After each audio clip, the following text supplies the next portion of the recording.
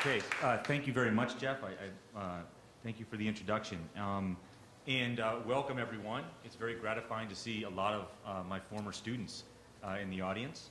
Uh, I hope your business, your law business practices are thriving despite the information I provided you during, or the misinformation perhaps that I provided you during class. Um, so the, the title of this panel is The Business of Law Practice. And the panelists and I, we spoke together with the, other, the organizers, the overall organizers beforehand, and here's what we came up with uh, in the exercise of giving content to that. We'll be focusing on uh, law as a business in significant measure, and I'll give you more specific topics we'll address. But a- another way in which business figures in the discussion today is that uh, all of the panelists uh, also have familiarity and involvement with uh, business law. And so hopefully that's hews closely enough to the title to satisfy everybody's interests. Uh, I also very much want to thank the panelists here today, a very um, busy group of folks who've taken time out of their schedule to talk with us. And so I, I very much appreciate your taking the time to do that. Here's the format. Uh, first, I'm going to have the panelists briefly introduce themselves. And then we're going uh, to work through, one at a time, a series of topics. The topics will be, first of all, uh, the future of the job market. Where will the jobs be? Um, some of them are not there right now. Um, planning for the future job market. How do you qualify for the jobs of the future? How can you position yourself to get those jobs, whether you're currently a law student or you're already out in practice? Uh, the future of hiring practices. Um, are there adjustments in the way that uh, employers, whether law firms or corporations or other arrangements, uh, are deciding whom they'll hire? And if so, uh, what can you do about it? And then the future of uh, the business of law as well. Can, is there knowledge about business development or other related topics that can help you in your career? So that's the, those are the four broad topics. The emphasis you might notice is on um, predicting the future rather than lamenting the, our current plight, um, which uh, I think everyone can do without anyone else's help. So uh, let's start off with the introductions. And, and one last point about format. I'd like to have this be as interactive as possible. So what I will do is introduce a subject, get some feedback from the, the panel, comments from as many of the panelists who want, want to talk about a particular issue. And then we'll have a kind of question or comments and response period before we move on to the next topic. And I'll try to be mindful of the time so we get through as many of these topics as we can while giving you all a chance to make your comments and ask your questions. So uh, why don't we begin uh, with Al Pak and do uh, introductions from my left to my right. Morning. Uh, First, let me thank Bernie Atterbury and Judge, uh, Dean Brand uh, for inviting me to be here with you today. I'm really glad to be here. Uh, I am in-house counsel to Sempra Energy, which is a Fortune 200 company headquartered in San Diego, California. Um, I'll have a lot to say about the four topics that we're going to address today, but let me make, you know, in, let me make two comments uh, to start. First, I'm here not only to help you, but to recruit. Um, we are a growing company, and we are looking for competent counsel to help us in that growth pattern. I've successfully hired one person from USF, and I was successful in recruiting another. So I have a very strong bias as an alum to hire USF graduates because I know the quality of the people that come through here.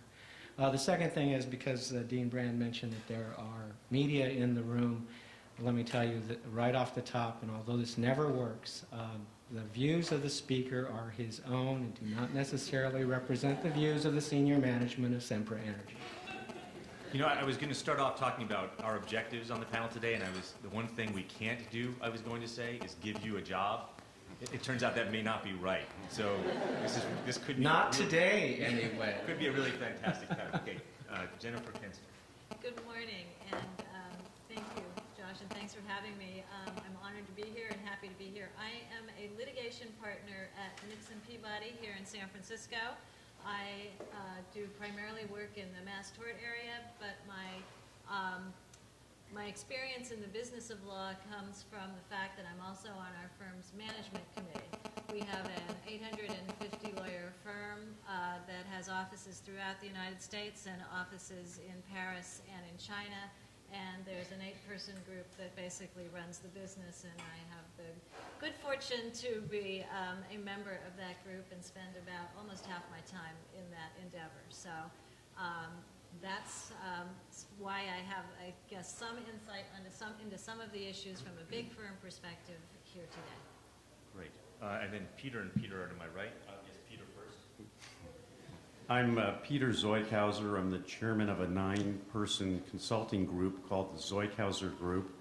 We consult in three areas, strategic growth planning, mergers and acquisitions, and strategic marketing to large law firms, meaning AmLaw 200, Global 100. I have been doing that for about 15 years. Before that, I was general counsel at the Irvine Company in Newport Beach, a large real estate development company uh, for 15 years. And uh, without going into too much detail with the anxiety about the job market, uh, I clerked for a large law firm my second year of law school. I worked for the Legal Aid Society uh, after my first year of law school. Um, I, went, I was a pro bono plaintiff's environmental litigator for two years. Then I joined a 20 lawyer law firm. So I've had a, quite a varied background. And on the, on the subject of today, which we're going to talk about, what is there for lawyers to do?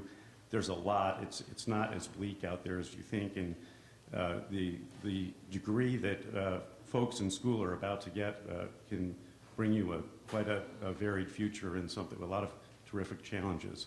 So it's not so dismal.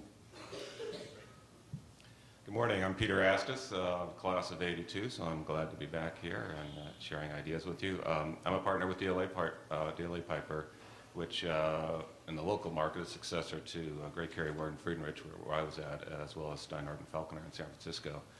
I'm in Palo Alto. I do corporate and securities, uh, mostly focused on the technology world, um, IPOs when they're out there, and M&A and venture capital and the like. I'm also the co-chair of our global technology practice, so um, I'm responsible for coordinating our practice across geographies and across practice groups. Um, DLA is uh, we're somewhat over 3,000 lawyers in, uh, in uh, 50 jurisdictions, so there's, there's a lot to coordinate across lots of different places. Uh, uh, but um, uh, again, I'm happy to be here. Great, great. Well, thank you all. And Again, appreciate your coming. So the first topic is the future of the job markets. Where will the jobs be? And uh, I want uh, the panelists to feel free to be relatively creative about this. It could be at law firms, it could be at corporations or other entities, or it could be in other roles, perhaps less traditional roles, that may be expanding in part in response uh, to the current economic circumstances. So why don't we uh, reverse the order, just to keep things exciting. And Peter Astiz, do you want to start with your thoughts on that, and we'll just work our way across and then open it up to the audience? Yeah, uh, I mean, my first thought on that is that um, uh, having practiced for over 25 years, I, I've been through a lot of ups and downs where, particularly in the business transactional market, where things would just stop when there would be a disruption in the market and you couldn't get transactions done. And every time that happens, people are speculating about how much is the business going to change, the law business, when uh, you come out of that situations. And when we're again in that kind of a period now where there's a lot of speculation about how much will there be in change in the legal profession. And I happen to be one who believes that this time, because of the extent of the um, uh, recession and as well as some other dynamics that are already going on in the market, that we are going to see a lot more change. And, and change means opportunities. Um, specifically, I think the change, particularly on the transactional side, but also on litigation, involves the, the corporate corporations, which are the main uh, uh, clients for obviously the larger law firms, the increasing pressure on costs and on alternative billing arrangements. Um, basically, if you're going to drive down costs, um, you, you can cer- certainly drive it down a little bit by achieving efficiencies, but somehow you have to change the model. Uh, law firms can't be paying people the same amount of money and billing them out at the same kind of rates and bring down the costs. Um, so where that comes in opportunities, I think, is that, uh, and a number of firms have made announcements, uh, including mine, about considering different arrangements of this kind, is, is firms will take slightly different models to servicing the client needs. Um, that will include firms having different track uh, uh, attorneys on staff, not all being on partner track uh, attorneys. It'll mean firms hiring more contract lawyers. It'll mean firms subcontracting certain work. Uh, it means opportunities for smaller firms and solos to do some of the work that big firms were doing that they simply cannot do at the cost uh, margins that uh, uh, clients are requiring. So I think there's change out there. The ultimately, uh, the key issue is, of course, that clients expect cutting-edge expertise uh, in whatever they're hiring for, and they expect 24 by 7 availability. And for big firms, they expect scalability to be able to kind of handle whatever needs to be handled, and those are the things that people get paid for. Um, so my big message to people is to say, focusing on areas uh, where there is going to be fee pressure, where you can develop expertise, uh, and either on your own or partnering uh, with uh, uh, other firms, I think there are going to be increasing opportunities in, in the upcoming years. Good. Uh, Peter Zeughauser. I would agree with everything Peter said. If, uh, for people who are in a particularly vexing situation, uh, like two L's uh, and uh, one L's and maybe some three L's who don't have jobs, I would find some way to get experience practicing law, uh, whether that's through an outsourcing company, uh, whatever, however different it may look like from what you had anticipated uh, whether that was joining a big firm or a small firm, uh, being an independent contractor, uh, banding together with a few of your fellow graduates and forming a small outsourcing company and pitching your services at lower rates uh, to some of the larger firms in town or around the country. Uh, I think are, there, there will be opportunities there. Uh, what the, the, there's a big question going around, is leverage dead in law firms? Uh, if meaning, meaning, is there a place for law firms that have a lot of, uh, of uh, people doing a lot of uh, work on big litigations and big transactions at lower rates than the partners? Um, if leverage is dead, we have a different kind of problem. I don't think leverage is dead. It's just that it's going to be created differently, not with $160,000 a year associates across the board. It's going to be created with outsourcing. And, uh, and, and if you can develop uh, a little experience practicing uh, at some of the uh, entry-level work, uh, there are going to be big opportunities there because law firms are going to have big demand and they're going to, they're just going to cut back on their hiring of $160,000 year associates, at least for the next three or four years. I, I, I will say that I think the future is extremely bright. There are a lot of reasons for that. Maybe we'll have time to go into them later. But the future is extremely bright for the legal industry. And the time will return when the demand for lawyers will exceed the supply and salaries will go up. So I think you're in a trough. It's a little bit longer than past troughs. It could go on a few more years, but go out and find a way to get some experience because in the end, uh, there will be great demand for legal services. Thank you. Um, Jennifer Kuenster.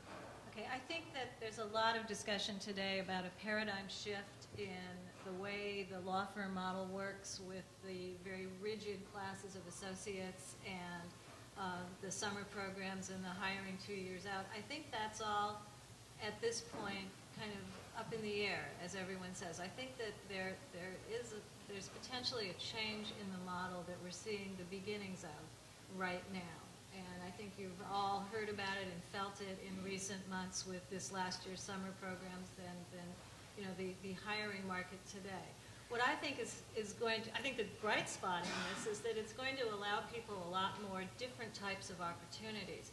Certainly when I started in the practice of law, uh, there was, you had a path and it was very rigid. And it was very hard to move between different types of um, legal um, jobs. Although Peter seems to have done a good job. um, it was, it was in, in some. I remember when I started, I was told that it would be very hard if I went to a big firm. I, you know, that was if I wanted to be at a big firm, it would be very hard to move from a public interest job or from some other job into a big firm. I think that's all changed, and I think that there's, uh, you know, a legal career spans a long time, or can span a long time. There's plenty of time to do a lot of different types of um, different types of jobs during one's legal career. So I think that there's going to be a lot more flexibility, certainly at all levels of the market, in people moving between different types of um, legal jobs. You can go, I think it'll be easier to go from a small firm to a big firm. Um, I think there's a lot of firms that now hire um, I think there's a lot of hiring done at the second to five-year level rather than at the first-year level. So that allows people to do things differently now, to perhaps follow something that they um, are very interested in and use that as a, as a way to, you know, move into the law. You know, Peter, I, I would sort of disagree with something maybe, or take a different tack than Peter took about going out and getting, you know, a, finding a legal job. I think in some ways it might, particularly for first years who are, who are facing now an incredibly difficult job market, you might want to think about doing something that would distinguish um, you from others that are out there looking for a job. And if you want to be a construction lawyer, um, maybe work construction for a year or two and have a slightly different, um, you know, approach and more knowledge about what you're interested in. Or work in an emerging company, or go out and find a job in the IP field. Because, again, because the legal career is so long, I think people have the opportunity to catch up. You know, that first two, year, two years is not going to make a huge amount of difference in your ultimate um, career. So I think that this is a remarkable time for opportunity to do things a little differently and to maybe break away from some of what has been, um, you know, bedeviling the legal profession in terms of the rigidness of the way that we've, we've looked at, you know, the career path. Right. Uh, Al Pak. Um, let me kind of give you a little view, a little different view uh, from corporate counsel's side. Um, I know that we're not generally thought of as the marquee employers in the legal industry. Um, I tried to interview some interns last summer, and I saw the long list of people who wanted to interview at the marquee firms here in town. And I got three people to come talk with me and have a cup of coffee. So I, I know that people don't think of in-house counsel as the kind of work that they had really aspired to when they entered law, uh, law school. But I'll tell you that there are a lot of opportunities for both entry and to develop a pretty rewarding career. From co- a corporate perspective, we look at legal expense as a non-discretionary but manageable cost. And so we will hire in-house counsel to fill essentially what we think are our daily routine requirements, uh, whether it's in litigation, uh, securities analysis, environmental law, so that we can sustain the corporation on a day-to-day basis. We will go outside, as you've heard from some of the others, uh, to pick up unusual, non-recurring work that requires special expertise or to, to handle our peak requirements. There are some instances where due diligence would require us to use outside counsel, and we'll do that. Uh, one thing that has been changing, and I see this particularly in our company over the last 24 months, is that it's very rare that we will hire a firm and pay standard billing rates. We tend to use negotiated contract rates um, and tiered rates by and large. Again, this is a cost-benefit analysis that we're doing. Uh, if your billing rate and our estimated number of hours, that's to the intensity and duration of the work, uh, means that we should, rather, we should hire somebody and bring them in, we'll do that. Because not only do uh, we save costs, but we're adding to the expertise of the corporation. Uh, let me add something to um, what Jennifer said. It is, uh, we have about 250 lawyers employed at Sempra Energy. This is an 11,000 person firm. Uh, only 75 of them are employed full time in the law department. Uh, either people have law degrees and bar certificates and are coming in to entry level administrative positions, or they've left the law department because of the expertise they've developed in working with different functional groups within the corporation and have become senior managers. That is not unusual in any company that I'm familiar with. Um, so if you're looking for entry level positions, uh, we're always looking to hire smart people. We have continuous needs given our size. Uh, and there's more than one way to get in. In fact, one of the ways that we find out who's got a, um, a law degree in our company is we have a fairly substantial in-house MCLE program. So when people show up, you kind of figure out that they're doing that for a reason. And it, it's pretty surprising when you find out who has a, a law degree, either very junior or very senior. So I'll, I'll tell you, as a living organism, it's a nice place to work. Now, there are cultural differences that you should be aware of, and I think your counselors can tell you more about that. It's, uh, it's an, it, there are some trade-offs that you make between law firms and corporations. I, I came out of a mid-sized law firm based in Los Angeles, and I'll tell you there were advantages and disadvantages uh, to that kind of a practice. And um, for the moment, I find Sempra to be uh, a good place to be. Wonderful. Okay, so that's, that fills me with all sorts of uh, questions and comments, but I'm going to resist the urge to, uh, to share them until the audience has a chance. Um, I think that was a pretty rich presentation, and there were all sorts of little teasers in there that I can imagine you might want to follow up on. So, um, uh, Anita, can you uh, take yeah, perhaps a mic, and then if anyone who has a, a question or a comment to which they would like a response, why don't we take a, a few minutes to do that, uh, and then we can ask the panel to respond. Does anyone have questions or comments? We have one back there in the middle. Well, while Anita's going there, I would just say, I agree with what's been said, and I would say, in the interim, if you could find out, a- uh, if you can find a job where you can learn leadership skills and team leading skills, this is what the law is turning to it in, in most of the big firms, many, many of the regional firms.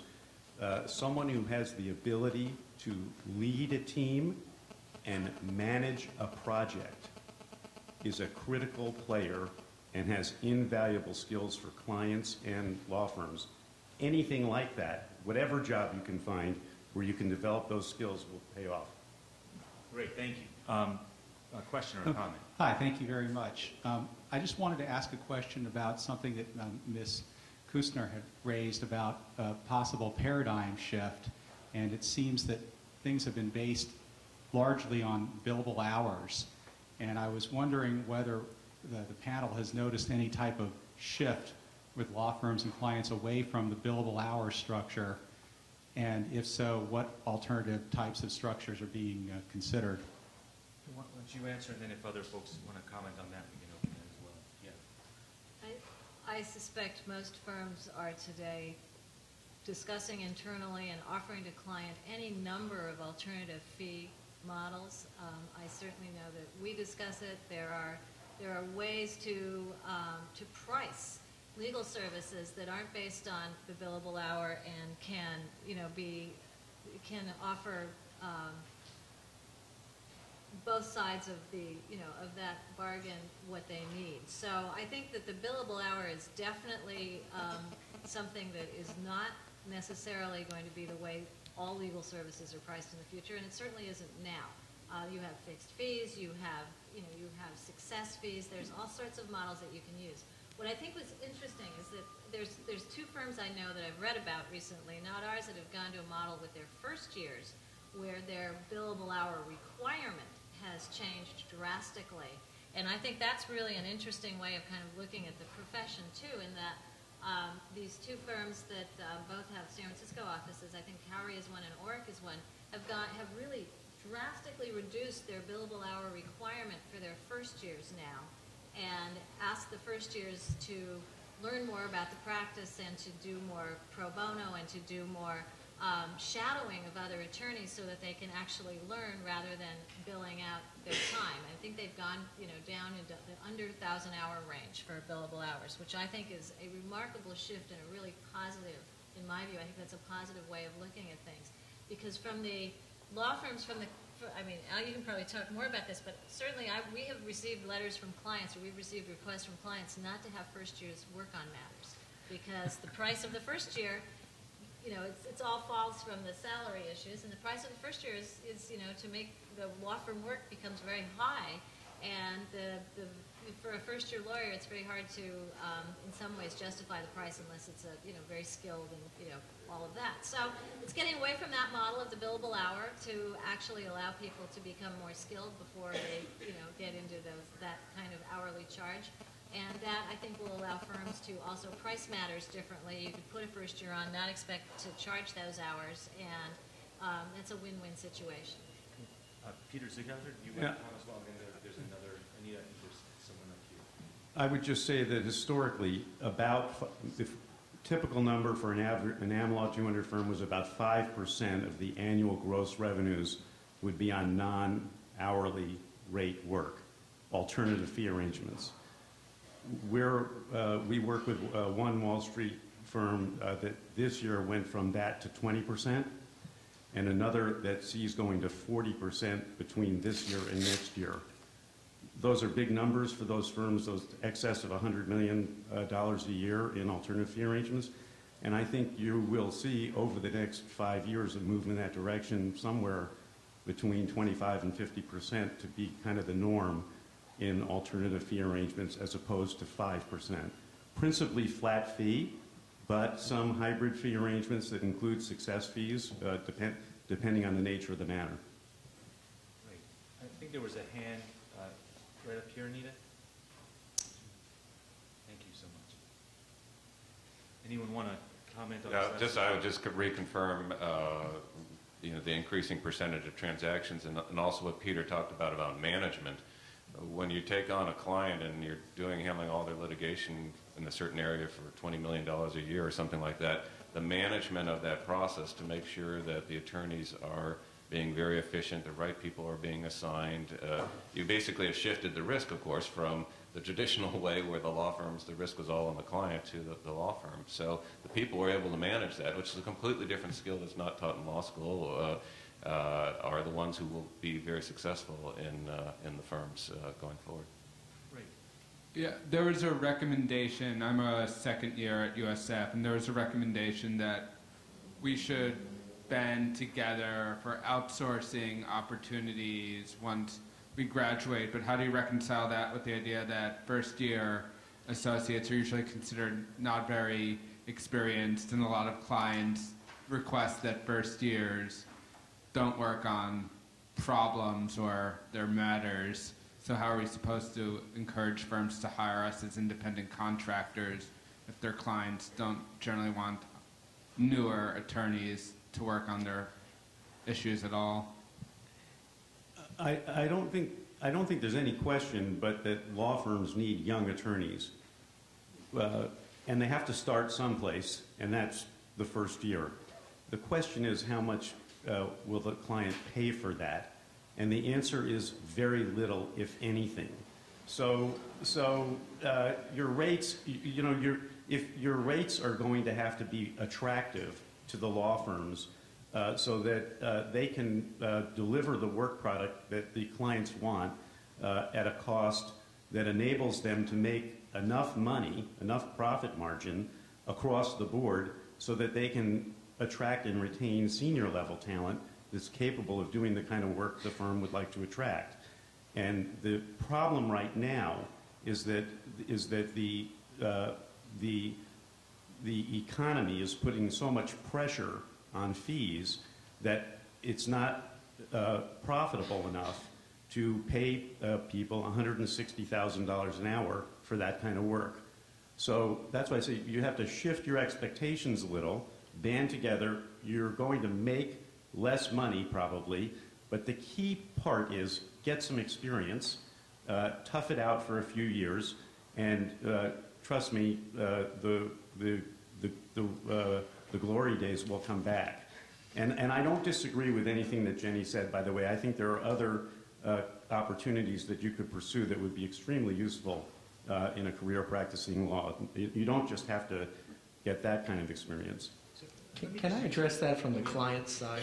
Yeah, we're not ogres. Uh, and when you hear things like that, you know, it's generally the trend. Since we, the client side now has leverage, um, yeah, we're going to negotiate the best talent at the lowest available fees.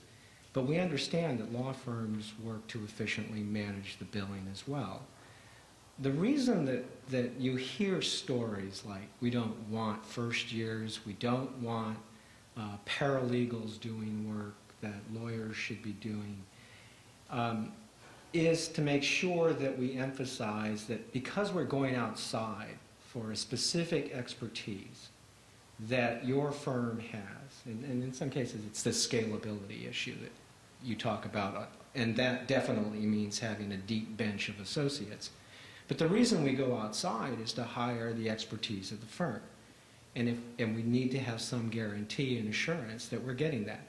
We don't want to see an associate standing in front of our senior management or our board of directors talking about something that in-house counsel would be fully competent to address. We went outside to get somebody because they could do something for us that in-house counsel can't do, and we want to see that. But, you know, I don't know that, I think what we have is a bias towards competent counsel at what we consider to be a fair and reasonable price.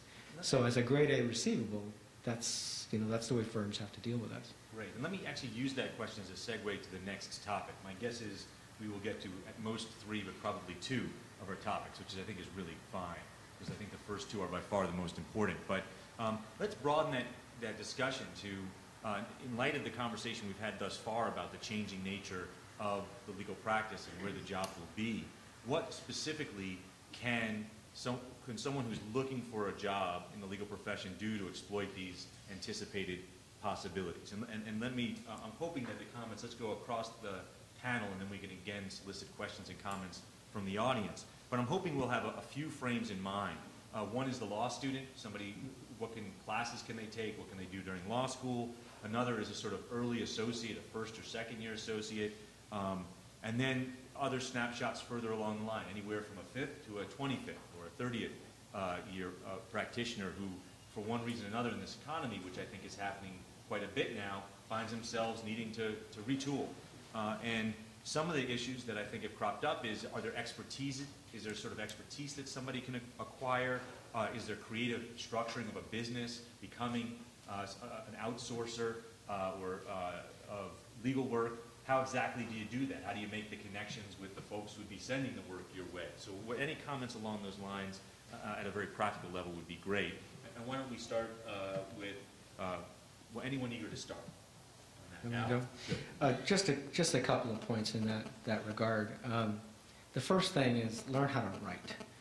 There are so many people in this profession who cannot write, regardless of how long they've been in the profession, that you'd be, you can easily distinguish yourself by writing clearly and crisply. And if you do it in a letter or your resume, just evidence that you can write.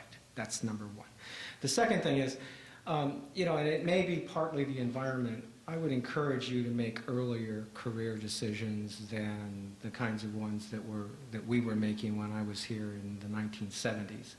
Uh, if you think you want to do a specific area, you want to participate in a field of work, or if, for example, uh, you'll let me recruit you to become in-house counsel, uh, you know, think about what industries you're interested in and tailor your education to that. Engineering, accounting, all come in very handy in the energy and infrastructure business. Uh, environmental law, uh, corporate compliance, regulatory compliance, Sarbanes-Oxley, those are all the hot topics for in-house counsel. Take classes on that if they're available.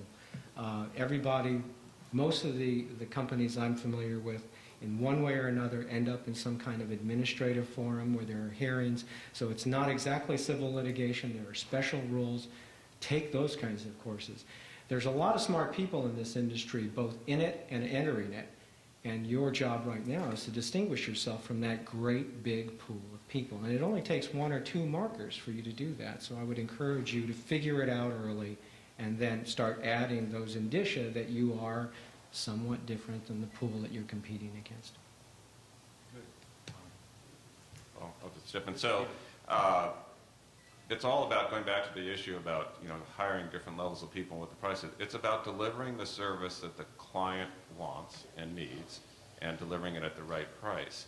And so the key is, what you have control over, is de- uh, developing the expertise for that area that you want. And, uh, you know, I'm a business lawyer, and what I always tell young lawyers is business law is about business. So if you're in law school and you haven't, don't have a business degree, you should be learning about business. You should be, you know, reading the Wall Street Journal every day. You should be taking accounting courses. You should understand how the markets work. Uh, you want to be a technology lawyer, you need to understand technology. Uh, there's many, many opportunities to work for companies in a quasi, a half lawyer, half business uh, role where you're negotiating deals, where the legal training that you have is a great experience. If you've gone out and you understand technology uh, from whatever kind of experience you've been able to develop, um, you have a leg up on over the person who's just walking there and says, I'm a, I'm a good lawyer. So I would restate what was said earlier that finding the area that you're really interested in and really looking at it much more holistically than just being a lawyer, but the whole panorama of issues that are associated with that area, whether it's construction, whether it's technology, whether it's securities, and really immersing yourself uh, in that area so that when you go and propose yourself to work for a law firm or work for a, a corporation or work as a solo, you're presenting to them not just I'm a lawyer who's talented, but I know your business, I know your issues, I have experience in that, I can help you. And if you can add on top of that, I'm offering myself at a more reasonable price. That's how you're able to get the ticket. I, Jenny? Sure. I think that you, getting the job is not where it ends. And I think that there's, uh, particularly for younger lawyers and for, I think throughout your career, the marketing of yourself doesn't stop. So my suggestion would be that once you get that job, no matter what size organization you're in, you remember that you, you still need to market yourself, you still need to be the person that people want to come to and to and to distinguish yourself from others because there's a lot of smart young lawyers out there who can do the work and and you need to figure out a way to distinguish yourself to make the career moves that you can. So my suggestion would be once you get in a firm, no matter what size or in an in a corporate environment, to uh, be very visible, to be to volunteer, to take on as many um, as you can um, comfortably, um, types of different um, uh, assignments that you can meet different people within the organization and become known. And that way sort of network and market internally as well as externally because that way you'll get, you'll, you'll distinguish yourself from the rest of the crowd of, of young lawyers that are sitting in their offices looking things up and writing briefs. Um, that's not to um, in any way um, say that all of the basic skill, you know, being absolutely the best at the basic skills isn't really important, but there are things that you can do on top of that that um, will really distinguish you within the practice and within the work environment where, you know, take on a, a pro bono matter that you're successful at that then gets um, announced to the entire firm. Partners, everyone else remembers that, and you become visible within your workplace, and I think that's really important. I would add a couple of thoughts. Uh, I was in-house for many years, and I can, uh, I agree that practicing in-house is a fabulously challenging career, and if I were going to start over again, I would, I would uh, definitely do that. Uh, I left that job, and I left it because a friend of mine gave me a speech one day that uh, I, di- I didn't work for anybody. I was my own boss. And I needed to understand that. I didn't, I didn't work for the Irvine Company. I worked for Peter Zeughauser. And what I would say is take ownership of your career now. That's really important. No matter where you land, it will be important for you to keep in mind that you are your own boss and you own your own career and only you can make your career. It doesn't matter what law school you go to, what undergraduate school you go to, what you wind up doing, it's in your hands. So that's the first thing. Be an owner and take ownership of yourself and plan it out. I would do some market research. This school has a rich network of alumni. Uh, the San Francisco uh, legal market is one of the richest in the world. Uh, get just go out and ask lawyers in firms and, and in companies and elsewhere. Uh, find a connection and, and find out what's going on in their world to find something that you might have a passion for. You're really just hearing four opinions here. There are hundreds of other opinions about practicing law and having rewarding career, careers. While you are doing that market research, you'll actually be networking and marketing yourselves. And make it clear to people that you can be a just-in-time employee. If they have a need in the law, you're interested. And leave behind your name and phone number, your resume, and then stay in touch with them. You don't have to be a nuisance, but stay in touch. Opportunities arise. So I would get out there in the world. I would think I would have a framework for this, and the framework would be uh, what do lawyers actually do? Well, in the world, It's the nature of human beings to want to improve their lot. That's the nature of human beings. And they do that by deploying and using assets. Lawyers play a critical role in the consensual and contested use of assets. There are three forms of assets. One is financial. The world's financial assets are about $190 trillion, and lawyers operate right at the center of those assets, how those assets are used. There are intellectual property assets, ideas. We live in an era of mushrooming intellectual property. When the history books are written, this will be known as the time when intellectual property emerged as one of the world's most valuable assets. There are huge opportunities in the law for people who, who help others use intellectual property. Either in a contested way or in a consensual way. And then there are natural resources, the environment, oil and gas, wind, the sun, all of these, and they're limited, they're, they're, they're declining, and their value is increasing.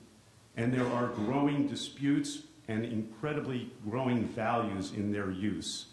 And so those are three areas that you might think about. Find one that you have a passion for, and then find a role you want to play. And then the human condition is in three economies. There are developed economies, like the United States, where it's a powerful economic engine. There are developing and emerging economies, and they aspire to be like the United States, to, to use these assets, but they have very different needs.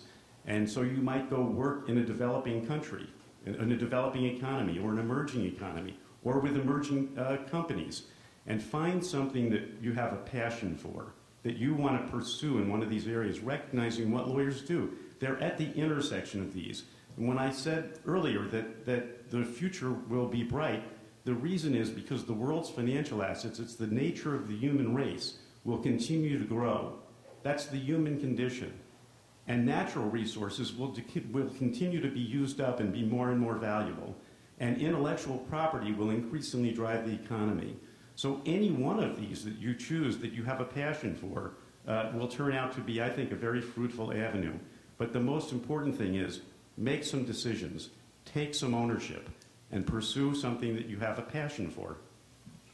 There's uh, two comments that I, I think often for uh, law students and, and very young associates uh, overlook, and it's the uh, two comments that Peter just made. One is to always be networking. Um, I can't ha- say how often I see law students not realizing that if there's someone who could offer them a job, they don't they don't realize that every interaction is worth pursuing, and that every um, every informational interview is obviously also a job interview.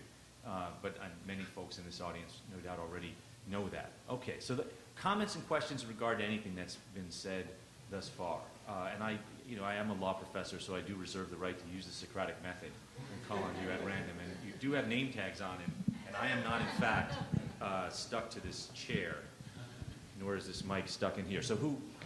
I, there's got to be questions and comments. Great.